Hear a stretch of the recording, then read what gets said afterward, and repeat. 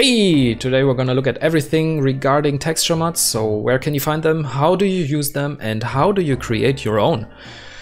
Use the timestamps if you wanna jump to anything specific. Let's jump into it.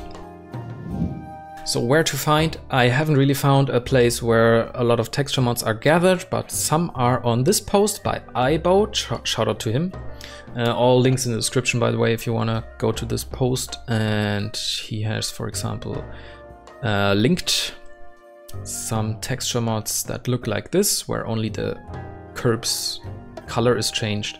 And I've downloaded one of them. And after downloading, you will put them into Documents, Trackmania 2020, Skins, Stadium, Mod. And do not unzip it.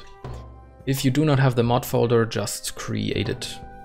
After that, okay, you can only use uh, texture mods on maps you've already created. Doesn't have to be validated yet. But then um, after, before clicking select map, hold the control key, then click select and choose your time of day. And after that, if you held control, you will get this window. And you see the pink TM3 I've put into my mod folder is showing up. Let's choose that and hope it works. And there we are. Everything is pink as it should be. After applying the mod, you will have to um, recalculate shadows. And there's one more thing. If you now um, send this map to someone and they do not have the map, uh, the mod in the folder, in the mod folder, they will not see it. But there is a way around that, and that's probably the best way to do this. And that is to, again, click Control Select Map. And do not use these, but go to Select URL and put in the URL where you downloaded the mod from. Yeah, and then it will download in front of opening the map for everyone. So the colored curbs texture mods are by Banano TV and you can find them here and you have to put these links into the select URL, then it will work. Great. Sometimes it will take some time to load, by the way. Um, and if you press escape while playing the map, it often is the case that it then shows up. If the loading took too long, because the mods can get pretty large. Alright, that was it. Now on to making your own custom texture mods.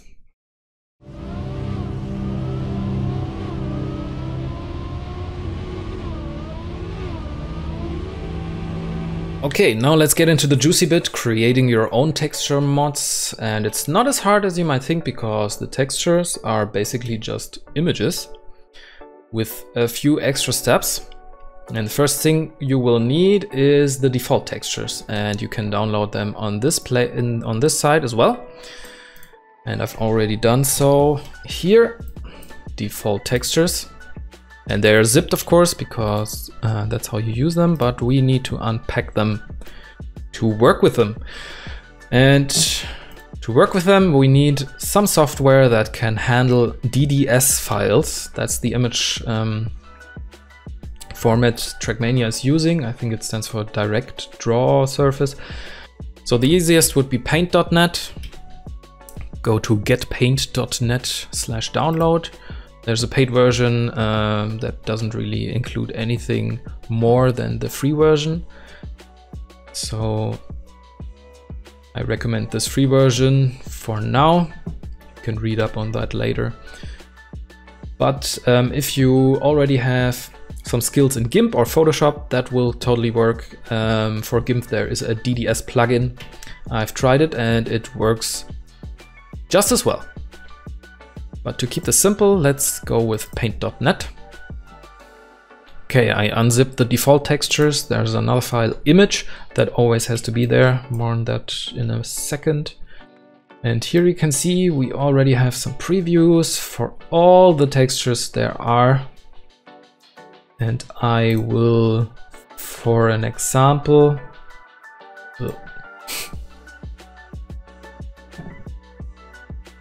open the ice textures. Okay, and to make this more fun, uh, I found this great picture by Riolo, who is and an ice lover, so would be very fitting to put him on the texture. Uh, maybe like this.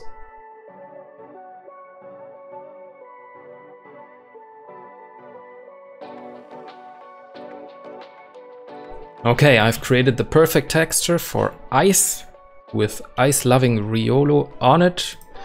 Now we go to save as and we need to save it in a specific way as DDS of course into this image. We want to overwrite it and here there are some options and it has to be DXT5. Don't ask me what that means, but that's what it needs to be. And also generate the MIP maps. Press OK. Should be saved now. Into the default textures, which I've overwrote now. There it is. Okay, so now we need to uh, only put the image folder into a new zip file not rar, it needs to be zip. And let's call it Riolo Ice. Okay. Okay, I just checked. We actually do have to restart the game. Now Riolu Ice is showing up. Let's see if the texture was applied.